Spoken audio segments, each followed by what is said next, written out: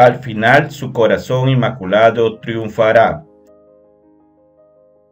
Hola queridos hermanos de Semillas de Fe, el día de hoy vengo a compartirles el mensaje de Nuestra Señora entre Viñano Romano, Italia, dado a la hermana Gisela Cardia ayer 5 de julio del 2022.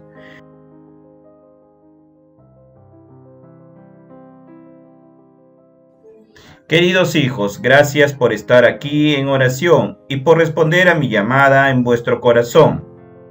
Mis hijos, unidos siempre reparen todos los horrores que hay en toda la tierra, recitando la corona de la preciosa sangre de mi Hijo Jesús.